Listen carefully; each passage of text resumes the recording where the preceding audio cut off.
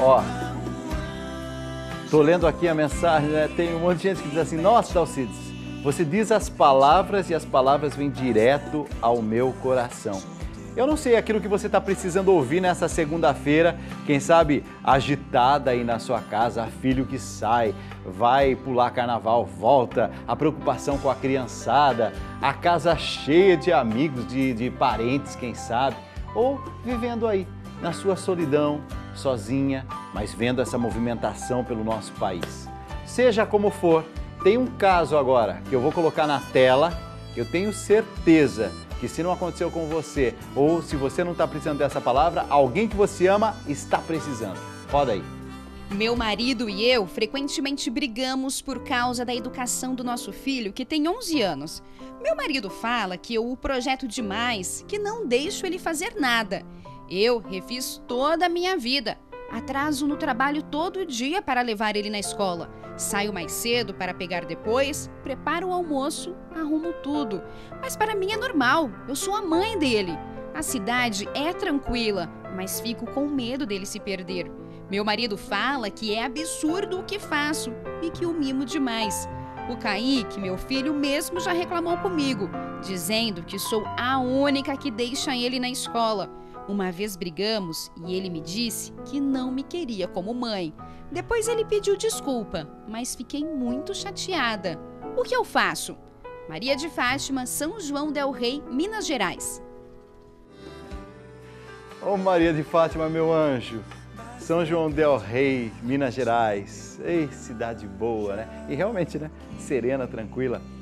Eu, se você quiser a minha opinião, quando o seu marido está falando, eu acho que você deve, assim, é, ouvi-lo. Porque ele está falando, ele está te dando um toque, às vezes isso provoca talvez uma reação em você de num primeiro momento. O que, é que ele está falando? Imagina, eu sei aquilo que eu estou fazendo. Mas eu queria que você agora entendesse o seguinte: o seu filho também está se sentindo um pouquinho incomodado com essa situação. Você está trazendo para você a figura, a imagem da mãe super protetora. Eu arrumo as coisas dele, Dalcides. Daqui a pouco você faltou dizer só, eu pego a mochila dele, eu mesmo levo, levo nas mãos, não deixo faltar nada, acompanho é, a, o meu menino o dia inteiro, é, eu vou trabalhar, mas a minha preocupação está com ele. A super mãe. Eu entendo você. É próprio das mães terem esse cuidado. Mas quando você percebe que a criança está dando sinais que, olha, pode me deixar um pouquinho mais, mãe, me deixa respirar um pouquinho, às vezes está sufocante demais. Então eu acho que é providência dos céus, sim, você ter um marido que te dá uns toques. Olha, está exagerando. Eu acho que você deve sim aproveitar dessa oportunidade para rever um pouquinho Será que não está sendo um excesso de zelo, de dedicação, de cuidados? O equilíbrio é sempre o melhor ponto. Se você, pelas suas palavras, eu acho que está havendo assim um pouquinho de excesso, de preocupação demais, de superproteção. Porque quando a criança ainda pequena manifesta alguns sinais como esse, que essa criança, seu filho, está manifestando, é sinal de que você tem que estar atenta.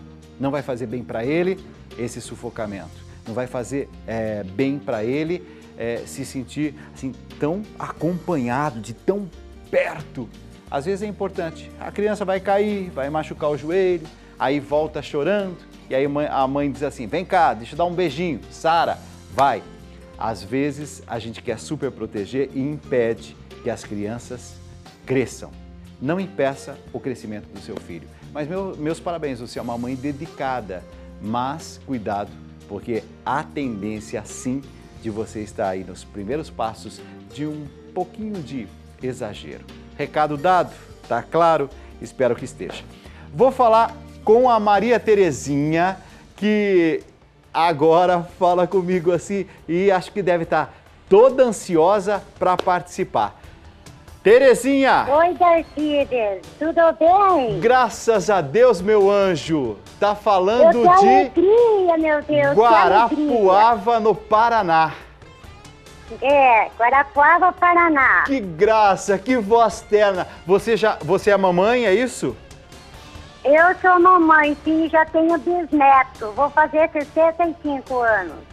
Combinado. Ó, então vamos fazer o seguinte: eu vou trazer suas intenções, suas necessidades. Nós vamos colocar você na nossa caixinha de oração. Mas eu queria também te dar um presente hoje. Você quer ganhar um presente, não quer? Eu quero, sim. então vamos fazer o seguinte: vou mostrar uma imagem para você. E vai lá, vamos lá, eu vou dando dicas para você. Ó, tá aparecendo um pouquinho aí de uma imagem. Ele foi apóstolo de Jesus, um discípulo de Jesus. Ele era um pescador.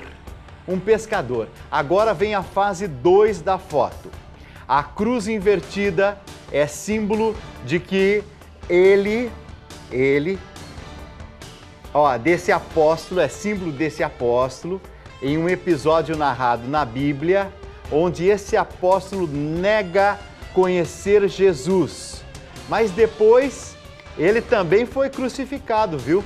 Só que ele diz assim: Eu quero ser crucificado num jeito invertido, de ponta cabeça. Era um assim, o braço direito de Jesus. E Jesus sabe que ele negou por três vezes. De quem é que eu estou falando? Qual é o discípulo de Jesus? Foi o primeiro papa da história, Maria Terezinha. Oi, ai, ai, ai, será que Começa com P. eu não... É? São é.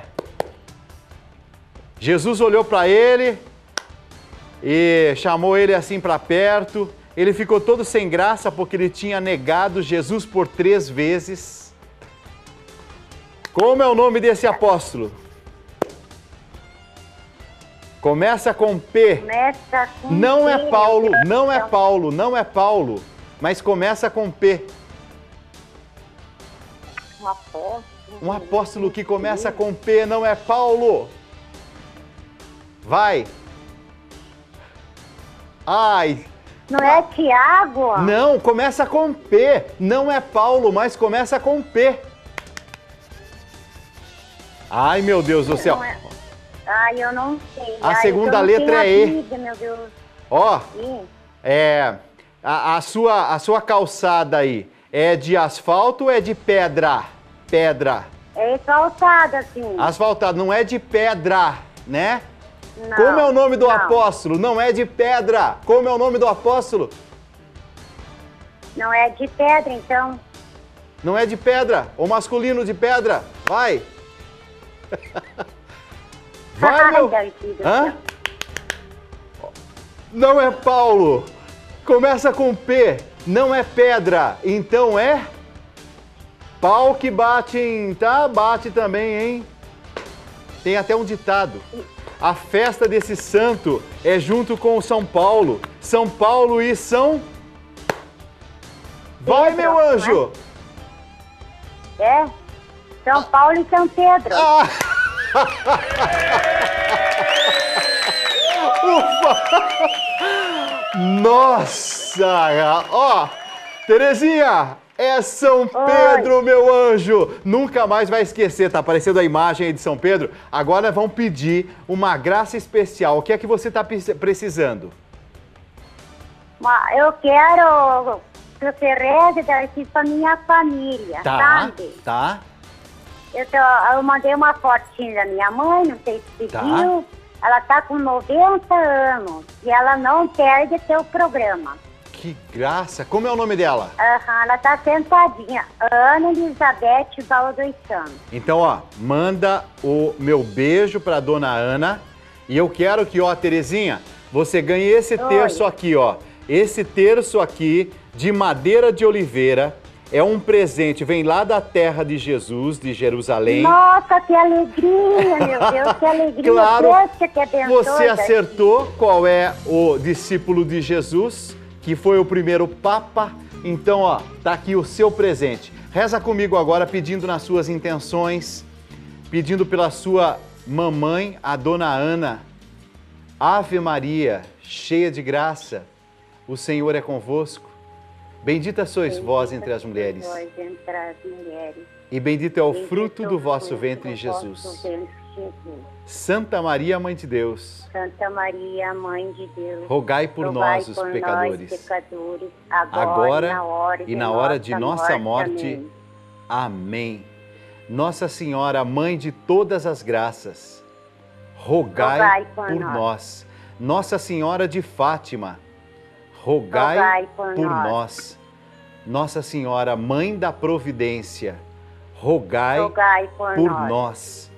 E nesse momento eu quero que você faça a consagração, dizendo: Eu me consagro. Eu me consagro. E consagro a minha família. Consagro a minha família. Ao coração de Nossa Senhora de Fátima. Coração de Nossa Senhora de Fátima. Eu creio. Eu creio. Eu confio. Eu confio. Eu espero. Eu espero. Assim seja. Assim seja.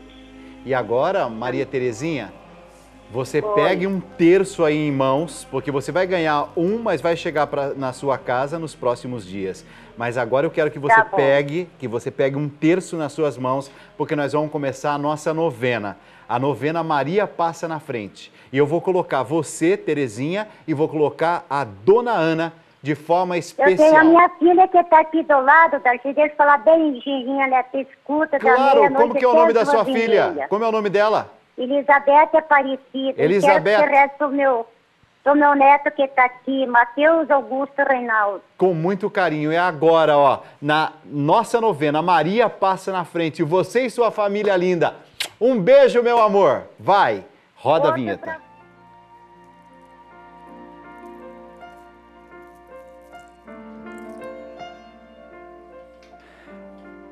Talvez nessa segunda-feira, de tanta agitação por esse nosso país, tanta gente que se perdeu em tantos caminhos.